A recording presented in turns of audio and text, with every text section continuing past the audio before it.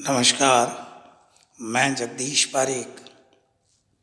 आज हम गद्य खंड के चौथे पाठ, सांवले सपनों की याद का अध्ययन करेंगे। इस पाठ के लेखक हैं जाबिर हुसैन। जाबिर हुसैन का जन्म सन 1945 में गाँव नौनही, राजगीर, जिला नालंदा, बिहार में हुआ। वे अंग्रेज़ी भाषा एवं साहित्य के प्राध्यापक रहे।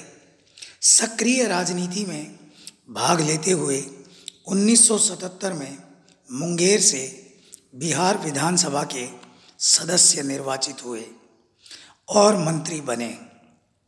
सन उन्नीस से बिहार विधान परिषद के सभापति हैं।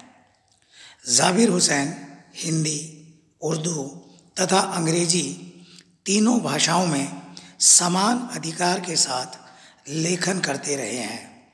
इनकी जो सबसे बड़ी विशेषता रही है, अंग्रेज़ी, उर्दू और हिंदी तीनों भाषाओं में समान रूप से इन्होंने अपनी रचनाएँ लिखी है। उनकी हिंदी रचनाओं में जो आगे है, डोला बीबी का मज़ार अतीत का चेहरा, लोगा, एक नदी रेत भरी प्रमुख है।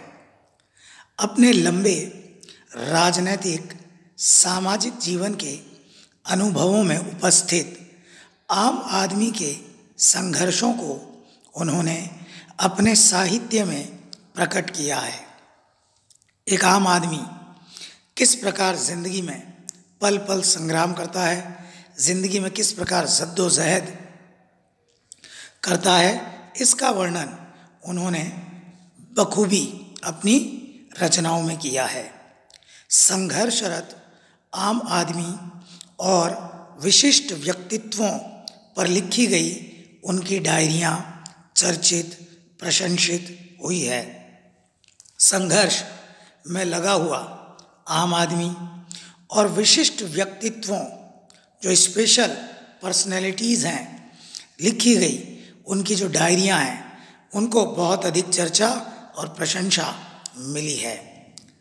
जाबिर हुसैन ने डायरी विधा में एक अभिनव प्रयोग किया है। अभिनव यानी नया, बिल्कुल नया, जो अपनी प्रस्तुति, शैली और शिल्प में नवीन है।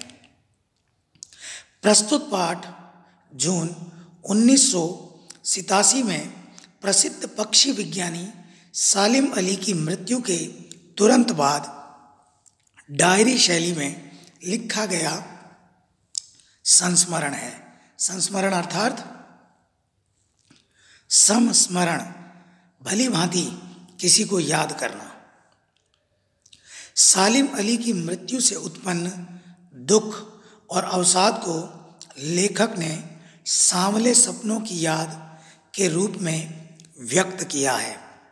पक्षी विज्ञानी सालिम अली की मृत्यु से ये अत्यंत दुखी हुए, अवसाद से गिर गए और इसी अवसाद और दुख को लेखक ने सांवले सपनों की याद शीर्षक दिया। सालिम अली का स्मरण करते हुए लेखक ने उनका व्यक्ति चित्र प्रस्तुत किया है। स्केचिंग उनकी। ढील डोल कदकाठी व्यवहार।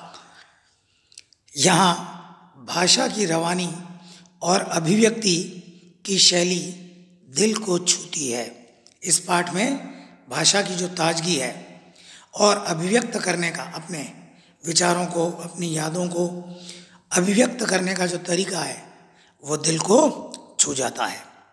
तो आइए पढ़ते हैं पाठ सांवले सपनों की याद।